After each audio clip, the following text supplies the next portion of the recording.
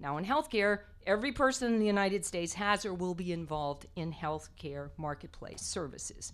In fact, in 2009 alone, over 80% of people in the United States were treated in our healthcare system. That's just one year.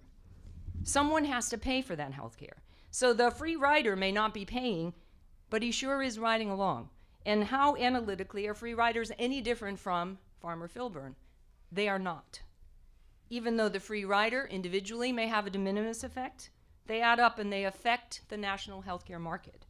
And Congress has an interest in and an ability to require free riders to purchase coverage in a way that is necessary and proper for the overall marketplace. Congress has made its decision. Those decisions are squarely within its authority. I hope the Supreme Court will see this debate over its eight and a half hours through that lens. But I suggest to you that if it does not, it would make this court the most activist, interventionist court in a long time. This legislation relates to health care and health insurance. The litigation relates to liberty. There is a distinction. The federal health care bill necessitates a dramatic destruction of liberty in this country.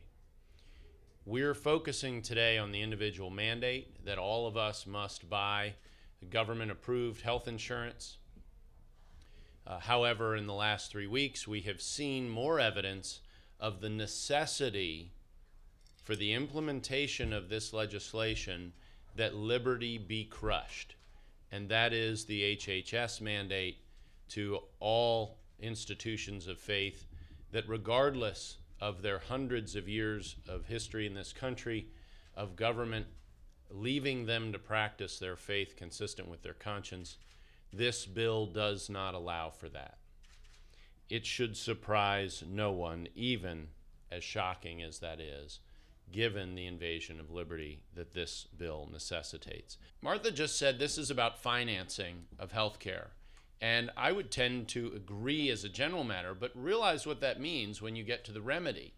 If we prevail and the individual mandate is unconstitutional, the federal government in its briefs has conceded that the private sector healthcare reforms would have to fall because this they cannot stand without the individual mandate. The federal government has conceded that.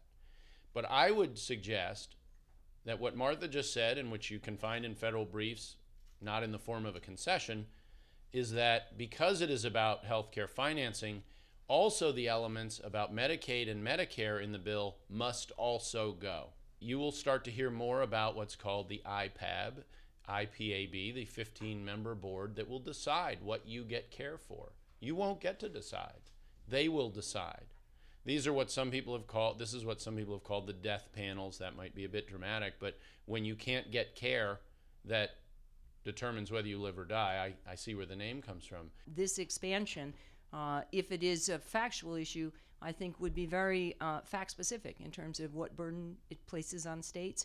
Uh, what is the actual burden? In fact, it's going to have benefits that will offset those costs.